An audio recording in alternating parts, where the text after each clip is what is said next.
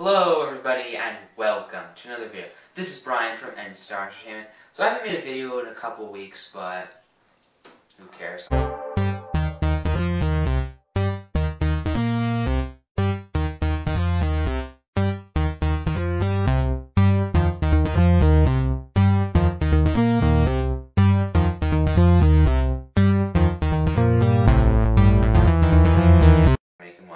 So anyway, basically, the last time I made a video where I installed this graphics card into this computer, one thing that you may have noticed is I had this one, and I didn't put it in there, even though actually this one was the is a much better card. This cost about $30, so it's not great. But this one cost $17, and I bought this one in case this one was broken.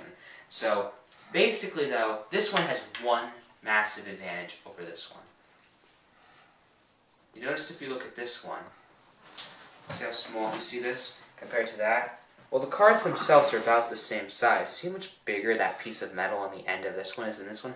I happened to accidentally buy one of these small cards. There's actually two ways to make one of these fit. So that's what we're going to be doing today. Getting this card to fit inside this computer, and this is something advice I could you could use yourself in order to make a small item fit in a larger one. So the first thing you could do is buy a PCI X16 extender. Also do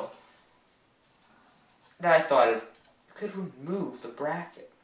So on some cards this isn't fully possible, but on this one here it's actually pretty easy. So let's get on with that. Alright everyone, so right here we got our card, just sitting on a piece of foam, because why not? The only tools you're going to need is a screwdriver, a Phillips one, and pliers, and I'll explain why you need those. So if you look at this, to remove this bracket, there's one screw actually. It's kind of hard to see, but it's right there. So that's connected to the, D the display port. So what I first decided to do was remove that because that'll probably make it easier, but I'm not sure if that would get it off because it seems very sturdy. There's no way that little tiny screw is going to hold the whole thing in. So you just get that out pretty easily. Just like that. Well, it's still in there pretty secure. It's a little shakier, but still in there. So there's, right here is our DVI port. You may notice it's got these things.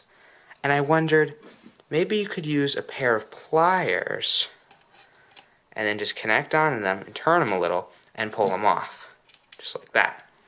And yeah, they actually unscrew, which I was kind of surprised about. Just like that. And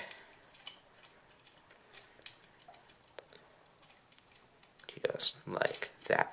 And just like that, that comes right off. And now you have a smaller card.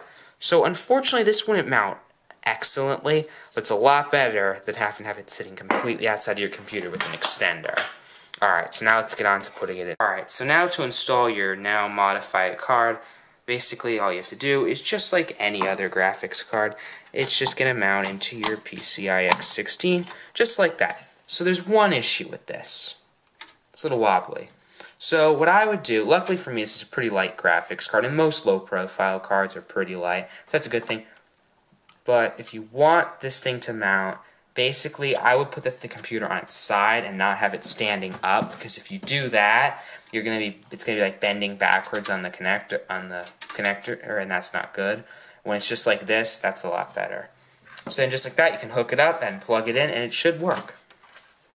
Okay, so there's one thing that I forgot to say that should. You should, before you buy a graphics card, if you have a computer that's uses a full-size one, make sure to buy a graphics card that's a full-size. Spending an extra $10 or so on it is worth it. This is only for people who messed up and accidentally bought one that has one of these smaller things and now you're stuck with it and you don't want to buy another one. So, yeah, if you ha if you haven't bought it yet, do not buy one with a small thing unless you have a small computer that's designed for it, and vice versa. Just buy what your computer is designed for. If you're stuck with it, then you watch this video.